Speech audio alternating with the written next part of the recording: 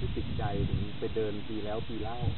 นี่หน้าอาจารย์ถึงได้บอกมาชอบมาเดินแถวนี้ผมชอบครับนี่หน้าผมก็สงสัยเอกใจว่าทำไมมีปีอะไรอ๋ออย่างนี้นี่เองชอบความวิเวกแล้วก็มีรถไฟอย่างนี้ยแหละครับขาขึ้นยิ่งกระหึ่มเลยครับ